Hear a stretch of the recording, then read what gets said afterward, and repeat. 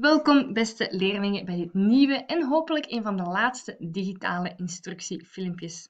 We gaan het deze week vooral hebben over bijwoorden, maar ook wel over bijvoeglijke naamwoorden en we starten ook met een herhaling. Voor we starten is het een goed idee om er even een leeg blad papier bij te nemen en zelf een schema te tekenen. Normaal gezien zou je dat op bord tekenen, zodat jullie het altijd bij hebben, maar nu zullen jullie het zelf moeten doen. Herbekijk dus zeker het filmpje en vergeet niet om deze inhoud goed te oefenen. Als je een schema wilt maken, dan leg je je blad zoals het hier ook ligt, horizontaal en trek je vier kolommen. Van boven mag je ook al één rij afzonderen, want je gaat hier van boven, net zoals het hier bij een wiskundig voorbeeld is, ga je telkens titels schrijven. Of je verder nog meer rijonderverdelingen maakt, dat mag je kiezen, maar het makkelijkste is dat je vier kolommen maakt en hier van boven invult wat ik zo meteen zeg. We starten met een beetje herhaling. De eerste herhaling is het zelfstandig naamwoord. Dat is natuurlijk al gekend, we zijn dat al heel erg vaak tegengekomen. Dat is dan ook het eerste dat je mag schrijven in de eerste kolom van boven. En ik heb een paar voorbeelden opgeschreven. Stoel, hoofd, hyena, vinger, bril. En je, je weet dat je die kan herkennen aan het lidwoord dat ervoor kan staan, de, het een, dat het een meervoudsvorm heeft en dat het een verkleinvorm er zijn altijd uitzonderingen, bijvoorbeeld de hersenen, dat heeft geen enkelvoud. Maar je hoort het lidwoord, je kan een hersentje zeggen, dus je weet, dit is een zelfstandig naamwoord. In de volgende kolom dan mag je het werkwoord schrijven. Enkele voorbeelden kan je zelf ook bedenken. Slagen, weten, planten, zwemmen, kantelen, stinken en ga zo maar verder. Je kan die herkennen aan het feit dat die meestal een actie of een toestand uitdrukken. Met een toestand bedoelen we ik ben een. Dat is een toestand. Ik ben niks aan het doen, maar ik ben nu eenmaal zo. En actie is natuurlijk, ik ben aan het praten. En je kan die ook vervoegen. Denk maar aan vorige week met die hoofdtijden. Dan weet je meteen weer wat het werkwoord is. Dit is eigenlijk ook nog herhaling, het bijvoeglijk naamwoord. Enkele voor zijn harig, sterk, groot, lang, mollig, blauw, grappig en ga zo maar verder. Je kan die herkennen aan het feit dat zij altijd bij een zelfstandig naamwoord staan. En ze geven extra informatie over dat zelfstandig naamwoord. Ik heb hier geschreven, trek een pijl. Het handigste is dan ook dat je vanuit je kolommetje, waar je nu bijvoeglijk naamwoord hebt geschreven, dat je een pijl trekt naar de kolom van het zelfstandig naamwoord. Dan weet je dat het bijvoeglijk naamwoord altijd daarbij staat.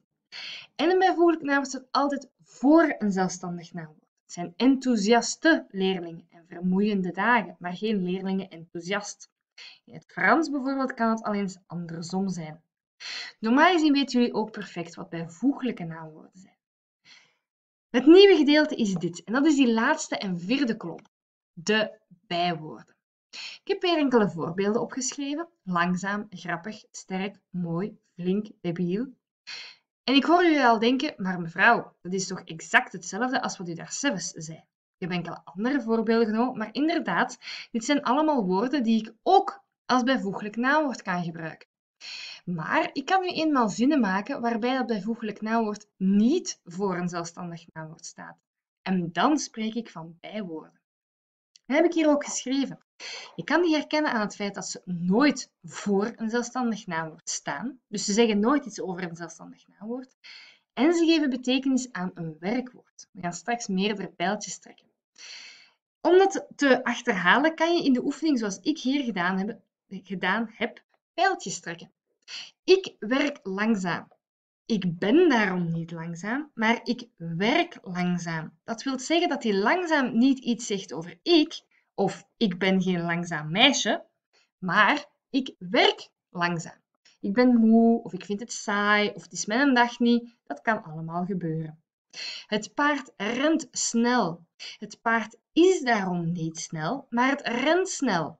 Dus dat is snel zegt iets over het rennen. Die langzaam zegt iets over het werken. En niet over een zelfstandig naamwoord. Dus het zegt iets over het werkwoord. Ik eet graag appels. Ik ben niet graag, die appels ook niet graag, maar ik eet graag appels. Nu, wat is daar heel belangrijk aan?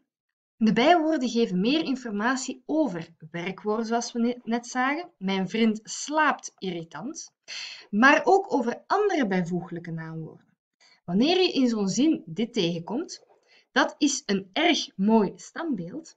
Wel, dat stambeeld is mooi, maar het is erg mooi. En die erg zegt iets over die mooi. Dus dan trek ik een pijltje naar mooi. En wanneer die erg dus iets zegt over een bijvoeglijk naamwoord, is het een bijwoord. En het kan ook iets zeggen over andere bijwoorden. Ik werk verschrikkelijk langzaam nu. Dan gaan we kijken. Deze langzaam is een bijwoord bij het werken. En die verschrikkelijk is een bijwoord bij langzaam. Dus je kan zo telkens pijltjes blijven trekken. je moet je altijd goed afvragen over wat gaat het nu? En je ziet, het gemakkelijkste om deze te herkennen is, er is geen zelfstandig naamwoord. Hier wel, en dan weet ik, ah, die mooi is een bijvoeglijk naamwoord. Maar wat, alles wat daarvoor staat, is zijn bijwoorden.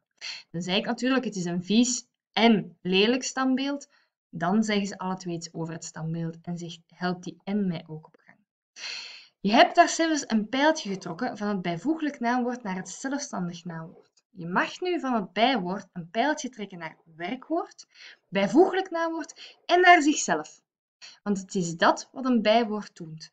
Een bijvoeglijk naamwoord staat alleen bij een zelfstandig naamwoord. Een bijwoord staat nooit bij een zelfstandig naamwoord, maar altijd bij werkwoorden, andere bijvoeglijke naamwoorden of andere bijwoorden. Dus je gaat je altijd afvragen over wat zegt dit nu iets. En soms zeggen ze ook iets over de hele zin. Helaas geen festivals deze zomer. Die helaas is een bijwoord. Toen ging het mis. Die tijdsbepalingen die we kennen is ook, zijn ook bijwoorden. Ik ga vandaag eindelijk winkelen. Dat is ook een bijwoord. En waarom zien we dit nu? Ik weet, jullie gaan zoiets hebben van, mevrouw, maar we doen dat toch automatisch? Waarom moeten wij dat nu weten? Ten eerste is het belangrijk dat je je eigen taal kent. En ten tweede is het zeer belangrijk voor andere talen.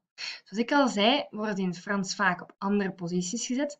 En in het Engels ziet een bijwoord er zelfs helemaal anders uit dan een bijvoeglijk naamwoord. Anders dan in het Nederlands, want wij gebruiken gewoon dezelfde woorden.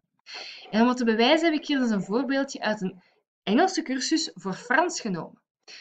Adverbs in het Engels is het woordje voor bijwoord, dus men gaat in het Engels ook lesgeven waar die bijwoorden in het Frans nu eenmaal staan. Vandaar dat het belangrijk is dat je weet wat die dingen zijn. Jullie moeten dit oefenen. De kenniskoffer vind je op pagina 595. Lees die nog eens goed na, daar staat hetzelfde in wat ik nu zei. Herbekijk dit filmpje nog eens, maak je schema volledig, schrijf er alles bij wat jij handig vindt. En ga eens oefenen op pagina 494, 594 tot 597. Je maakt opdracht 1 tot en met 5. Je moet ze dus niet allemaal maken. Niet alle oefeningen die hierbij horen.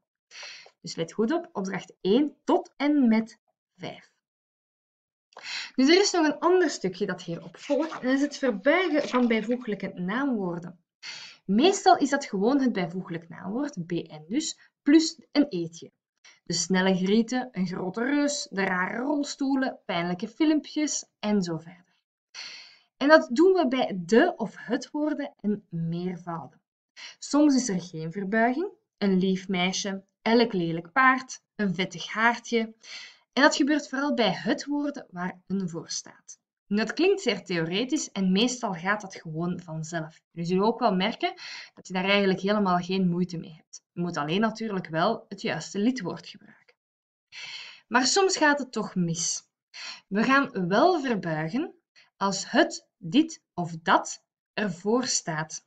Dus we hebben daar zelfs gezien dat we soms niet verbuigen in deze gevallen. Maar bij het, dit of dat gaan we wel vervoegen. Dus het lieve meisje. Ik zeg een lief meisje, maar het lieve meisje. Een gek spelletje, maar dat gekke spelletje. Dat gebeurt na een bezittelijke of ook na een bezittelijke voornaamwoord of genitief. Met een genitief bedoelen we wanneer je zo die apostrof s ergens aan vasthangt of een s'je ergens aan vasthangt. Een bezittelijk voornaamwoord ken je ondertussen. Haar saaie boek. Sams kleurrijke bord. En je hoort dat meestal ook wel. Ik zeg niet haar saai boek, Het kan misschien wel een beetje klinken, maar het klopt niet. En bij stofnamen ga ik ook verbuigen, maar op een speciale manier. Dat hebben jullie al eens gezien. Een gouden ring, een zijden sjaal, de houten muur. Bij stofnamen bedoelen we dus waaruit iets is opgebouwd, waaruit iets gemaakt is. Dat noemen we een stofnaam. Dus ik zeg ook een stoffen deken. Maar als het gaat over het stof dat je in huis vindt, dat is wel iets helemaal anders natuurlijk. Maar dan voegen we dus een ennetje toe. Wanneer gaan we niet verbuigen? Bij het worden in vaste verbindingen. Dus we hebben gezien hiervoor dat je bij het worden normaal gezien wel verbindt. Dat staat hier, wel verbuigt, bedoel ik. Als dat dus in vaste verbindingen is, doen we dat niet. Het is niet het dagelijkse leven, maar gewoon het dagelijks leven. Het Vlaams parlement, het mannelijk geslacht, ook dat zijn zaken die jullie over het algemeen kennen. Maar als je echt zou luisteren, klinkt het mannelijke geslacht ook best oké. Dus je moet er een beetje mee opletten. Dit zijn zo van die zaken die voor niet-Nederlands sprekers heel erg moeilijk kunnen zijn. En soms bestaan beide vormen, bijvoorbeeld een groot politicus of een grote politicus. Wat is nu het verschil? Een groot politicus, deze man was erg goed in, oei, een foutje, zijn job en heeft veel goeds gedaan. Je gaat er dan naar verwijzen dat die man niet per se groot was in gestalte, maar dat hij in zijn leven grootse, goede, heel voordelige zaken gedaan heeft. En dan spreek je over een groot politicus. Een grote politicus, dat is een politicus die dus gewoon groot is, die dus langer is dan een meter 90 bijvoorbeeld. En dat is het verschil. Ook dit moeten jullie even oefenen. Je ziet ook daar een kenniskoffer op pagina 598. En de oefeningen zie je op pagina 597 tot 602. Maar je maakt in dit geval alleen opdrachten 6 tot en met 10. Dus ook niet allemaal. Sta je dus niet blind op die paginanummers, maar ga kijken wat je precies moet maken. Wat is nu jullie opdracht voor deze week? Je zal een boekwidget online vinden die jullie kunnen invullen hierover. En je moet je cursus aanvullen. Met cursus aanvullen bedoel ik dus niet al die pagina's, maar alle opdrachten die ik graag zou willen dat je maakt. Dus wanneer ik de cursus doorgestuurd wil krijgen, mogen daar lege opdrachten tussen zitten, diegene die je van mij niet moest maken. Heb je daar toch zin in, dan mag je dat altijd doen. Je zal zien dat die opgenomen zijn in de verbetersleutel, maar het moet niet van mij. Hopelijk was dat duidelijk. Heel veel succes en als er vragen zijn, zie ik jullie op de live sessie.